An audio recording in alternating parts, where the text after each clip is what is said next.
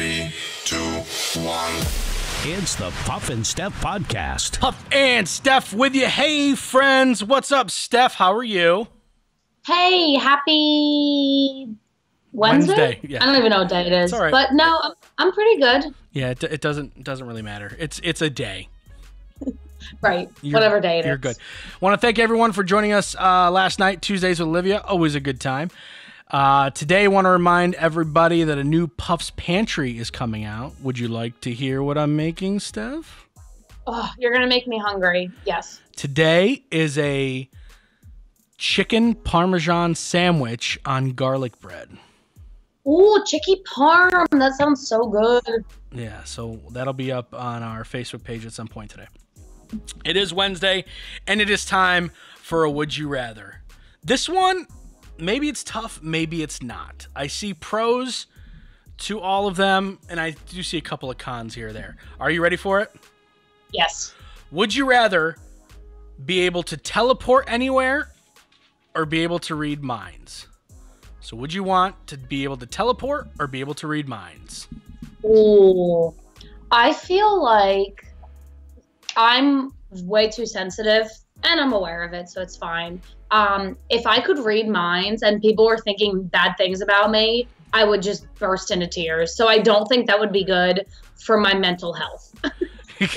no, and that's you know what knowing, knowing that, knowing that about yourself is important. I think when answering these questions, uh, Yeah. I get what you're saying because some people are ultra sensitive to things, and let's say you're out with a group of your friends, and one of your friends thinks, "Wow, Steph's hair seems kind of flat today, or out of place, or."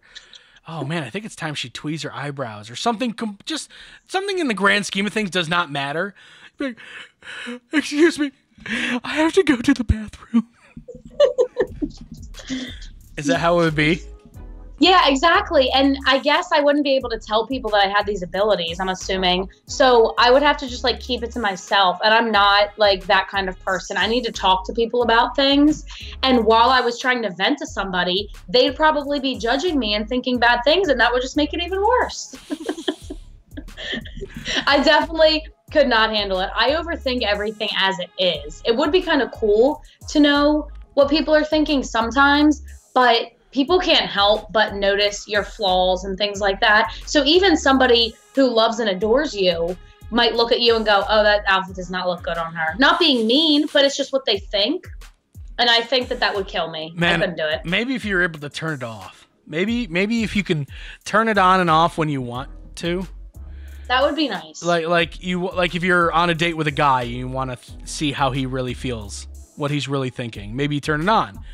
But if you're out to dinner with your friends, maybe you just like I want to enjoy this and not ruin it because it's not just you. Because think about it, like you could look perfect that night and no one would ever even think a bad thought about you. But what if your friend Stacy thinks something bad about your friend Ashley, and then all of a sudden you know a secret that Stacy thinks this way about Ashley, and now you're like, great, now I have this inside me too. I know about this.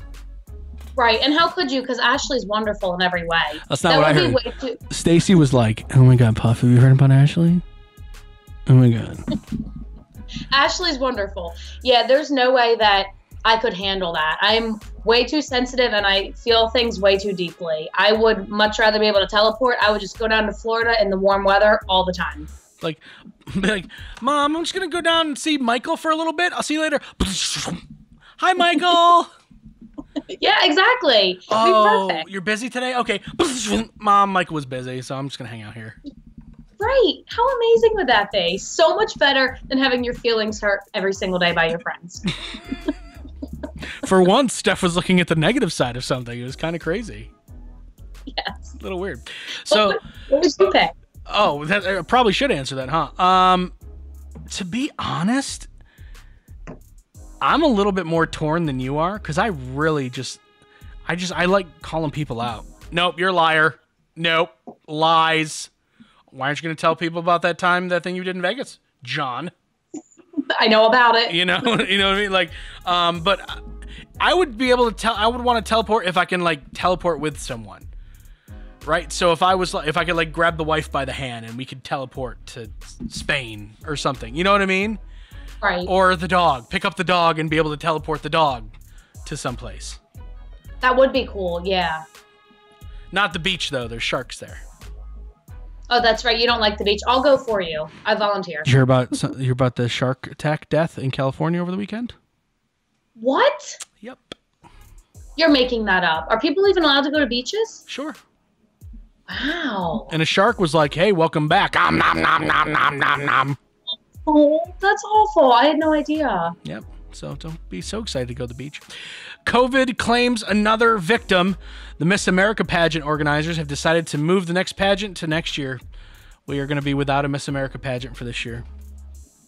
Aw, how will we ever get by? Have you uh do you or any like have you did you ever do a pageant or did any of your friends ever do a pageant? No, I was never a pageant girl. Me and all my friends all just did sports, and that was so time consuming. The pageant life is like a whole other level, and I feel like it's very time consuming as well. Sure. I never did it. Yeah, me neither. Uh, one thing you could think of uh, that would be bad because of social distancing, right? So think about a specific product that would be suffering right now because people are being told to stay apart. It's kind of a little mini stump Steph. Ooh, something a, that is spec- a specific product whose sales have decreased and they're blaming social distancing 100%. is it some kind of like STD cream or something? No. Well, people No, aren't together. I'm talking. I'm talking about everyday social distancing. I'm Ooh, t- I- like I- s- yeah, I'm talking about like people you walk by in a store. I mean, I don't know how you say hello to people, but but me personally, I'm I don't. Yeah, I don't have to worry about that as much. Um, so yeah, think think way less intimate. oh, okay, just something casual. Yeah. So it's something that happens when two people are near each other. Um, it, it's something that involves when is involved when two people are near each other. That that a product people don't see a need for it as much anymore. Perfume. You're close. It's gum and mint sales. Oh, I, that totally makes sense. Why bother? You're Yeah. with your family. With more people staying home, communicating through digital channels, and aiming to maintain the six feet distance, fresh breath has declined in importance. wow, that's so funny. I didn't, and I wouldn't have even thought of that. Yeah, but you thought of STD cream. Well, I thought you meant because people weren't I like going yeah. out to the bars and meeting other people. I feel you. I feel you. Um, usually the the the fresh breath, the mint, the gum, um, you don't get the STD if you didn't have fresh breath at first. That's true. No, that's true. Somebody's at your door. Do you want to get it, or are they just outside? No, it's a squirt. Oh, it's a groundhog. Oh, There's a groundhog outside, everybody. Okay. All right. so he gets very excited. Yeah. So the new report says gum and mint sales are down forty percent since the pandemic. Right, because nobody's like, I gotta freshen my breath to lay on the couch and cuddle with my dog. No, no, you can just have nasty breath like your dog. Nobody cares. All right, uh, coming up in just a couple of minutes, uh, how this woman, old woman, 104 year old woman, beat the coronavirus. It's the Puff and Steph Podcast. Hey, honey, how are the taxes going? Pretty good. Let's see. We either get $800 back or we owe 4 grand. I think we should call H&R Block. Let's face it, taxes can be confusing and the laws seem to change every year. Let the professionals at your local H&R Block take the worry out of your tax season. H&R Block in Dillsburg, Newville, Biglerville, Fairfield, and Gettysburg have been owned by the same family for over 50 years, and they've been there for every tax law change along the way. Don't leave money on the table. File your taxes confidently with H&R Block. Everyone is going through something right now, and we're all in this together. That's why CBD American Shaman of PA is looking out for you and your health. During this trying time, CBD American Shaman of PA is focused on safety and the needs of their customers. That's why right now they're offering curbside pickup along with home deliveries. Let American Shaman help you manage these stressful times. To find out how to get high quality CBD products and a free bottle of Shaman cleansing gel without even leaving your car or home, visit hempishealth.com. Do you love saving money but hate buying one of those coupon books filled with places you'll never go to? Well, here comes Quick Save Coupons to save the day. Quick Save Coupons is an app where you can find savings for restaurants, stores, and experiences that you will love. And here's the best part it's free. No big coupon books to buy, no websites to give your information to. Quick Save Coupons will show you all of the savings in your area right on your phone. Just go to Google Play or the App Store and download the Quick Save Coupons app. Then start saving money on many of the places you already go to. During this time, many are out of work and struggling just to get by. It's good to know that your friends at Capital City Buy and Sell in Harrisburg have your back. If you're in need of extra help during the pandemic, you can pawn or sell unwanted or unneeded items that you may have laying around your house, including jewelry, electronics, tools, musical instruments, and a whole lot more. Capital City Buy and Sell is open seven days a week, and they're always paying cash. Plus, they have low pawn interest and terms if you aren't quite ready to say goodbye to your item just yet. Capital City Buy and Sell, 3517 Walnut Street, Harrisburg. Online at harrisburgpapawn.com. Now back to the Puff and Steph podcast. And we're back for more fun. Uh, it's Puff and Zoey, apparently. Hi, Zoey. You're blocking your whole mom. What's up? She likes to do that. I can tell. A 104 year old woman beat COVID 19. How does she do it? Well, she lives in Brooklyn, New York. She's lived through the 1918 Spanish flu pandemic and both world wars. Plus, she survived stage 4 melanoma, two broken hips, an infection that affects the colon, and now the coronavirus. Oh my gosh, God bless her. What kind of water is she drinking? Oh, Steph. Red wine. That's what she's drinking. Nuh-uh. Yeah, Ida got COVID 19 in late March, but by the end of April, she was very chatty once again and doing fine. According to her daughter, the secret to her mom's longevity is a glass of red wine and an apple every single day. Wow. Okay, I can get down with that. Yeah. Way to go, Ida. Yeah, that's fantastic. Uh, Netflix subscribers are averaging three plus hours of streaming per day. Wow. Right now. You know what? I'm kind of surprised it's not more. I guess if people are working from home, maybe they're putting in like eight hours of work and then they're watching all evening. Right. Do you, I mean, you say you and your mom are binging Desperate Housewives. Do you watch a show a day? Um, we pretty much watch every night, and it's we try to get at least two episodes in a night. So that's a couple hours, really- right? Yeah, yeah, it's a couple hours, but that's through Hulu. So I bet people are streaming more often, but now there's so many because Amazon Prime and Disney Plus. So there's probably a lot across all the channels. Right. Uh, so now I'm gonna hold on. I'm gonna drop the music. Steph is holding Zoey for two very important reasons. One, to help the groundhog live because Zoey was gonna destroy the groundhog, and two, to talk about a very serious thing that happened over the weekend. We could have lost Zoey. Yes, it was a rough weekend. So um, we are now at the point of this quarantine where Zoey sits at the table with us when we eat dinner. Kind of like what she's doing right now. Yeah, she Okay. she sits in a chair. She's actually very well behaved. She sits like a human and just sits there. And you can judge me for that all you want. The dogs run this house, and that's the way it is. um, so we had fruit salad for dessert, and she had eaten half of a grape. And we didn't really think anything of it. Like, she really likes blueberries and almonds for some reason. So she had a blueberry, and then she had half a grape. And then my brother said, wait, I don't think grapes are good for dogs. So he Googled it and he was like, they're saying that it causes like kidney, it was kidney or liver? Kidney.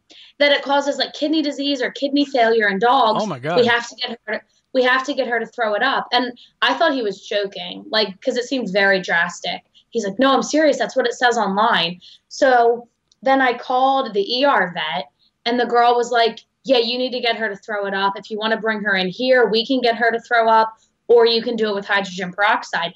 And I was really worked up about this. And I started crying because the vet was like, yeah, you need to get her to throw it up. So made it seem really urgent. So then we had to go out and get hydrogen peroxide. And if you've never had to make your dog throw up, you are lucky because it was awful. We had to like pour it down her throat Oh man. and then oh i felt so bad um, and then it, it worked really quickly and she threw it up and then i had to sift through the vomit to make sure that the grape was in there um, or else there was no point to all of this right. That's The a lo- that's a loving there. dog mom is sifting through your dog's vomit. on a Saturday night, you know. Um, it's it's a wild life. So I was like, we have a grape, everybody, and then we were all very relieved. But I just, with all the like dog people that I have been friends with and I'm friends with on Facebook, I couldn't believe that I didn't know that grapes were so bad for dogs before. Um, so don't feed your dogs grapes, people. It's scary. I, I do think that she probably would have been fine. Um, it was half a grape and it was the only one she's ever eaten. I think over time, if they have grapes, maybe it does damage. Or maybe but like, or maybe like a, a, a, a was it bushel of grapes? A gaggle of grapes? What is it? Like a, a bush- group, a group of grapes? Like if she has a bunch at once, right. or right. if she, they or if she eats that plant she's trying to eat right now. or if she eats that flower yeah um yeah so it was really really scary like she has a sensitive stomach as it is so i was very worried about her but she's all good now huh no more grapes Well, I was I hadn't heard from you in a while. We were talking back and forth, and I hadn't heard from you in a while. And then like I was like, "Hey, how's your day been?" And then I got the story. I was like, "Oh no, here's." I don't want to seem like I'm better than you, but I knew that dogs can't have grapes. How did you know that I think it was one of those things where Mugatu eats everything. right So we had looked it up. What's really bad for dogs to eat, and grapes and raisins were on that list. See, that's so crazy to me. And the funny thing is that they can't eat a fruit that's healthy for humans but they're like no instead pour hydrogen peroxide down the dog's throat and that's okay? Because it bubbles what? like, it bubbles and mixes with the stomach acid and forces it out i guess. Right. Right. It, i mean it did work how did you awful. do did you just keep, like, keep her mouth open and pour it in? Did you have a funnel? Like how did that work Um, they say to use a syringe, but we didn't have one. We had this little like medicine like spoon, so we put it in there, and then we had to Oh. mouth open and pour it in. It was terrible. is she eating the plant again she is. Those are Mother's Day flowers. are, are, they, are those okay for her to eat Probably not. See, she eats everything. You zoey can't take your- do you have a death wish cut it out your mom wants you around for a long time all right i'm sure you get fed i'm gonna go ahead and say you probably get fed plenty in She house. gets fed a lot. Yeah. very spoiled. Man, what's a dog trying to do to you? I know. So I just, I really wanted to do that, like as a PSA for dog people, because I wish I had known that. Right. Well, that's very responsible. Using your platform to do good things. Thank you. It's never a bad thing. Uh, coming up in just a couple of minutes, how this guy broke in and has been living at Disney. We'll tell you about it next. It's the Puff and Steph Podcast. Hey, honey, how are the taxes going? Pretty good. Let's see. We either get $800 back or we owe 4 grand. Hmm. I think we should call H&R Block. Let's face it, taxes can be confusing and the laws seem to change every year. Let the professionals at your local H&R Block take the worry out of your tax season. H&R Block in Dillsburg, Newville, Biglerville, Fairfield, and Gettysburg have been owned by the same family for over 50 years, and they've been there for every tax law change along the way. Don't leave money on the table. File your taxes confidently with H&R Block. Everyone is going through something right now, and we're all in this together. That's why CBD American Shaman of PA is looking out for you and your health. During this trying time, CBD American Shaman of PA is focused on safety and the needs of their customers. That's why right now they're offering curbside pickup along with home deliveries. Let American Shaman help you manage these stressful times. To find out how to get high quality CBD products and a free bottle of Shaman cleansing gel without even leaving your car or home, visit hempishealth.com. Do you love saving money but hate buying one of those coupon books filled with places you'll never go to? Well, here comes Quick Save Coupons to save the day. Quick Save Coupons is an app where you can find savings for restaurants, stores, and experiences that you will love. And here's the best part it's free. No big coupon books to buy, no websites to give your information to. Quick Save Coupons will show you all of the savings in your area right on your phone. Just go to Google Play or the App Store and download the Quick Save Coupons app. Then start saving money on many of the places you already go to. During this time, many are out of work and struggling just to get by. It's good to know that your friends at Capital City Buy and Sell in Harrisburg have your back. If you're in need of extra help during the pandemic, you can pawn or sell unwanted or unneeded items that you may have laying around your house, including jewelry, electronics, tools, musical instruments, and a whole lot more. Capital City Buy and Sell is open seven days a week, and they're always paying cash. Plus, they have low pawn interest and terms if you aren't quite ready to say goodbye to your item just yet. Capital City Buy and Sell, 3517 Walnut Street, Harrisburg. Online at harrisburgpapawn.com. Now back to the Puff and Steph podcast. I don't know if you would be down for this or not because it's Disney, but it's kind of not Disney. I'll explain. Uh, a Florida man is facing trespassing charges after security found him last Thursday camping on Walt Disney World's Discovery Island. Oh my gosh, that is so cool. For those of you who don't know, and I didn't know anything about Discovery Island, the island sits in Disney World's large lagoon. It was formerly a, bird preserve where visitors could look at flamingos and cockatoos, but it was closed to the public, what, almost 20 years ago? And now it just kind of sits there. The man was spotted on the property, and uh, Orange County deputies searched for him on foot. So they all got on the island. Then they did it by helicopter. And then they did it by boat before finally making contact with him. Wow, he's stealthy. They couldn't even find him. When deputies told him that he'd been, uh, or they'd been using a loudspeaker to address him, apparently they were like on a boat going, We know you're in there. You're having too much Disney fun. You probably didn't pay some sort of uh, admittance fee. You have to get out here. Di- the Disney season pass does not cover this. um, they've been using a loudspeaker to address him. He said he didn't hear them because he was sleeping inside one of the buildings on the island, Sorry, I was sleeping. which he referred to as a quote tropical paradise. He loved it in there.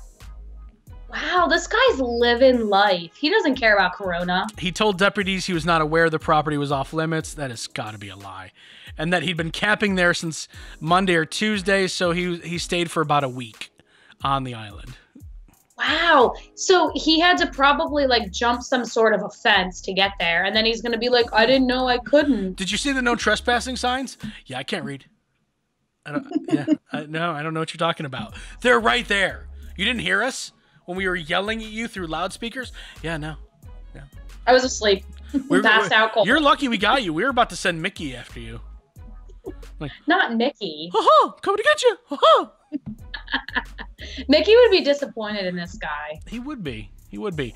Um, an upscale hipster in Ohio, just south of Cleveland, uh, is posting fake handmade street signs with um, naughty genital nicknames around town. Ew, But they're not. They're not like. What's funny is is it's got to be a kid because they're not like cringy nicknames. They're like snicker funny nicknames. Like uh, the intersection. There's one that, that was on the intersection of Fairfield and Wiener Street. See exactly, exactly. You didn't. You weren't. You weren't grossed out. You didn't go ew. You didn't do any of that stuff. Wiener Street. I had to laugh at it. I'm sorry. Several street signs were covered over with handmade signs. Uh, there was like Dong Boulevard. and there's actually one I'm pretty sure that exists here in in Pennsylvania, and that's like Beaver Street. I'm pretty Wow. sure there's like a there's like a Beaver Street somewhere around here. Yeah, I bet there is. Well, we have Beaver Ca- County. Beaver- Right. Is it a county? So, yeah. so there you go. Uh, the Vandal will presumably have something uh, more urgent to occupy their time when the pandemic is over. Police are just kind of like letting it go until it, everything is over, and they're hoping that the, the dude just because it's a guy. They're hoping that the that the guy just kind of stops doing it. Right. Come on, man. Grow up. Jeez, it's not even funny. Wiener Street. See, it's You know what? It's. It is. You have to laugh at it. That's just a this guy's word. probably yeah, he's probably just so bored during this like whole quarantine. And he's probably just some like young guy who wants to just have dumb humor. Dong Avenue. All right. Um, according to a recent survey, time to some stuff. Almost half of married couples do this separately. Almost half. So almost 50-50 split. Do this separately. What is it? It's not sleeping, is it? No.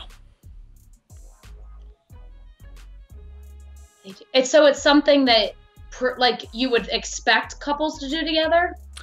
Um, not necessarily do together, but